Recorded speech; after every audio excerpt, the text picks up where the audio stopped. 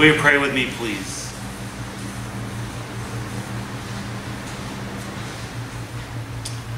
We are thankful, loving God, to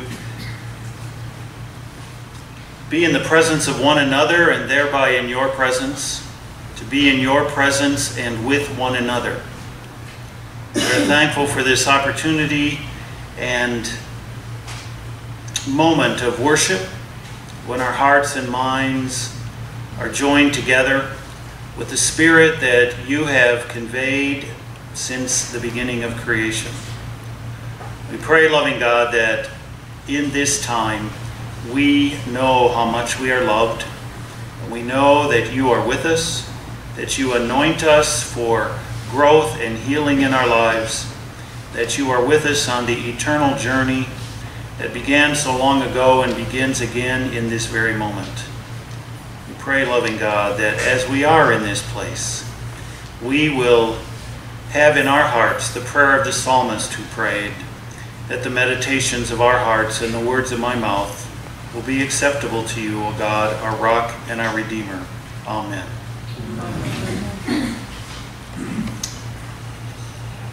The Olympics caught my attention in momentary grabs and much admiration over the past two weeks. Now, I'm not the greatest sports fan in any of the areas of competition. I don't know much about it, to be honest. But I am smitten with the hallelujahs of competition when underdogs win. And, and, the, and Olympiad fans are surprised by the grace and skill of a young, aspirational person flourishing on the global stage. Historians tell us that the first written records of the ancient Olympic Games date back to 776 BC, 800 years before Jesus walked the land. At that time, on that record, a humble cook named Coroebus of Elis won the only event, a 210 yard foot race, to become the very first recorded Olympic champion. It is generally believed that the Games had been going on for many years before that. The ancient Olympics were held every four years in late summer during a religious festival honoring Zeus. In 393 of the Common Era, 300 years after Jesus walked the earth, almost 100 years after the Nicene Creed and the expansion of Christianity, Theodosius I was the emperor, and he was a Christian, and he called for the ban of all pagan festivals. And that ended the Olympic tradition after nearly 12 centuries. Sometimes Christians just can't leave well enough alone. We're glad to know that the Olympics were revived in 1896. And I don't know how closely those of us here today follow the games, but reporting on them has been hard to miss. So I imagine most of us picked up on some of the actions and personalities with interest. One headline I read called these the Transformational Olympics. It was a story about the progress people were making as societal barriers were being broken along with athletic records. Locally, a native of Desert Hot Springs named Sarah Robles earned the bronze medal in women's 75 kilogram and up competition last Sunday in Rio. She became the first American to win a weightlifting medal, man or woman, since the year 2000. Nationally, this Olympics is transformational as young black American women rose to mighty prominence. There is not time enough for me to mention all of them, but I have two for you. Simone Manuel captured gold and became the first black woman to medal in swimming. She and a teammate made this year's Team B the first U.S. swim team to boast two black women.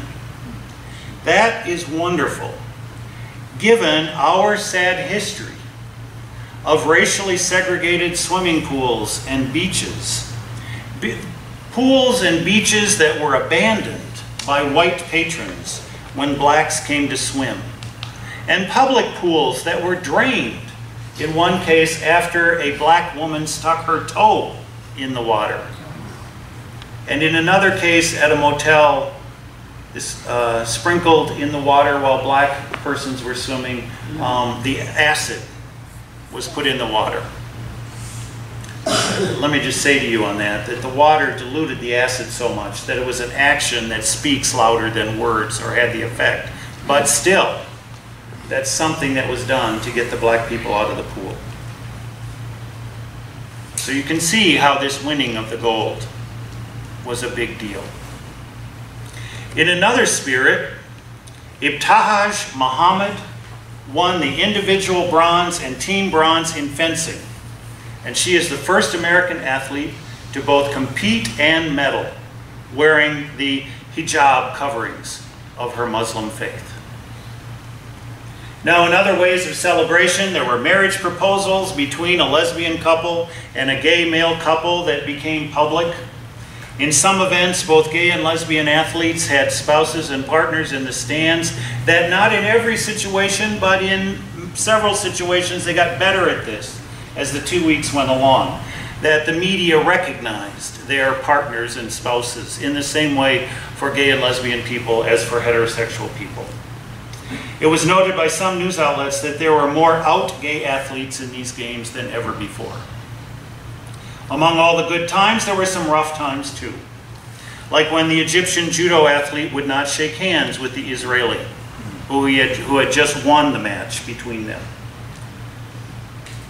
And there is some news about an American male swimmer, or two, or three, or five, hmm. that I'll talk about in a minute.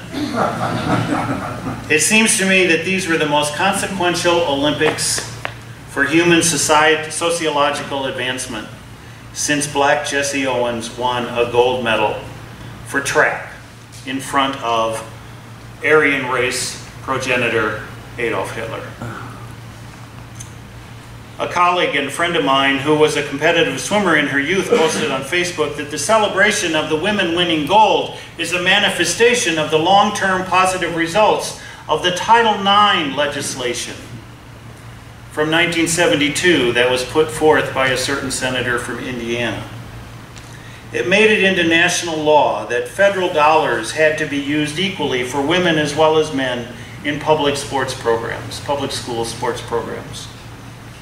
Now this is a system for good. It was the establishment of a system for good put in place many years ago to ensure equitable financial responsibility and to nurture and promote participation of women in competitive athletics.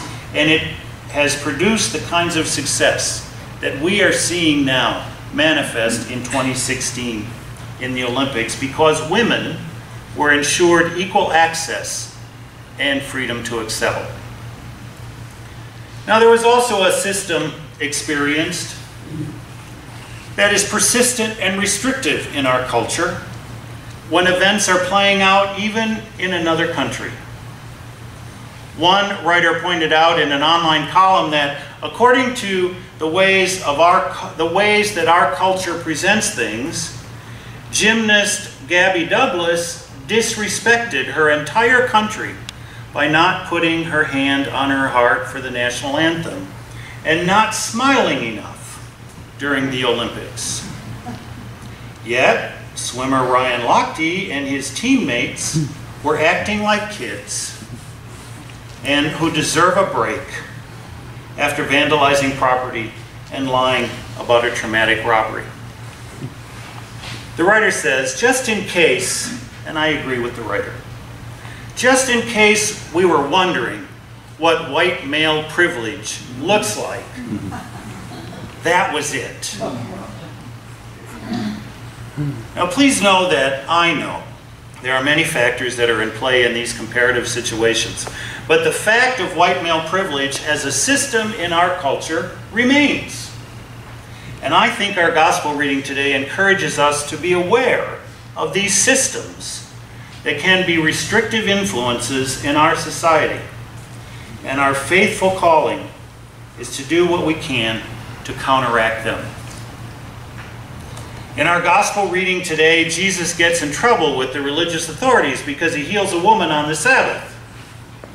This passage carries with it the conventional wisdom in our day that um, that's, that's the way that it's taught. Jesus got in trouble because he healed a woman on the Sabbath.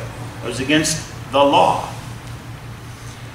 Now, the Sunday school lesson from this story is usually concluded with the encouragement to not let religion hinder us from doing good in our society.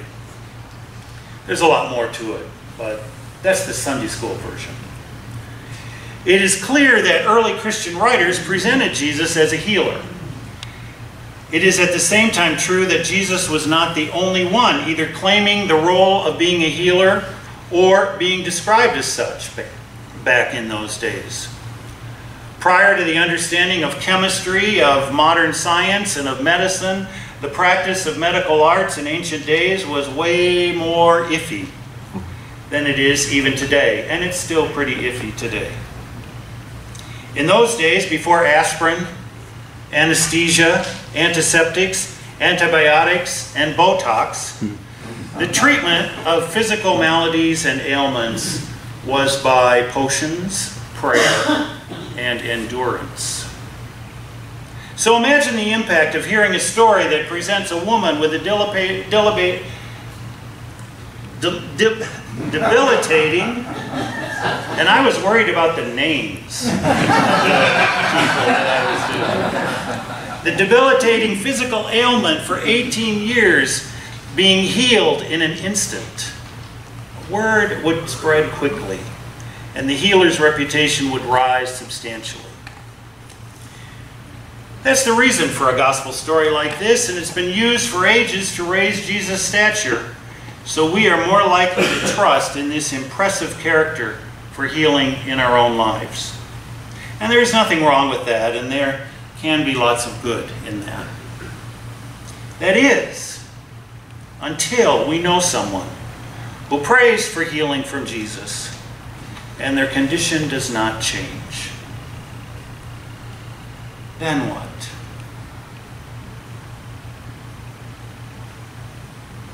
That's a question for all of us to ponder close to our hearts and something that I'll talk about at another time. Today, I want to share with you that I think we live in a day when we have to look back at these Bible stories and understand that in some cases they were more metaphorically intentioned than reality based. I think and offer for consideration that the woman in today's story was put in the picture as a symbol of all the oppressive forces pressing down on the ancient society by religious law, foreign domination, grassroots rebellion, and the unjust economics of the time. The woman, by her gender and condition, was not valued by any of the prevailing cultures, and yet Gospel writer Luke makes her the star in today's morality play. I think Luke is giving us a character who represents the victims of systemic oppression and showing us that the authentic ministry of those who claim to follow Jesus is to reach our hands out to help people stand up so that they can praise God, give thanks, and get moving for good. What do you think? That's another question we can ponder and share and talk about later. But one more thing about thinking. I think everyone's rejoicing in this story is not over the humiliation of opponents to this kind of empowerment. It is rejoicing because human beings realize the exciting potential when people are free of the institutionalized and societal systems that keep them in check while others live well. The eventual progression of realization that comes to common people from the Jesus story in this way is the triumphant story we have as resurrection.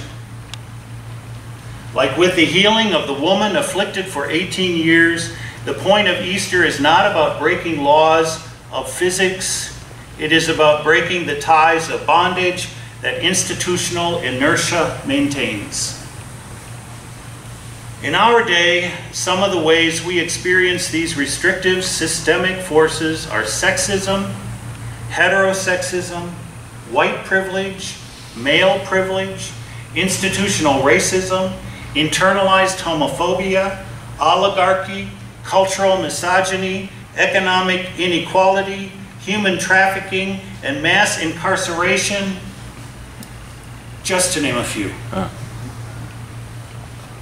Now, I'm not preaching that we as individuals or church in church community or on our own can completely eradicate these conditions or solve all the problems that result from them. But I do hope that our society becomes aware enough to know what each of these kinds of conditions are and systems are, so that, like poison ivy and the plague, we can avoid them for ourselves and treat the symptoms when our friends and family are affected. Perhaps one by one, we can break free of these systems and stand up to walk into a new life thanking God. In you, Yahweh, I take shelter. Let me never be disappointed. In your justice, rescue me, deliver me, be mine, O mountain of strength. In connection with the goodness of that God, it is our mission to counteract the symptom, the symptoms and conditions that sicken people's spirits and keep them bent over double. There is no institutional justification stopping us. So let's keep trying to do what we can do to rejoice at the marvels Jesus inspires us to accomplish. Thanks be to God. Amen. Amen.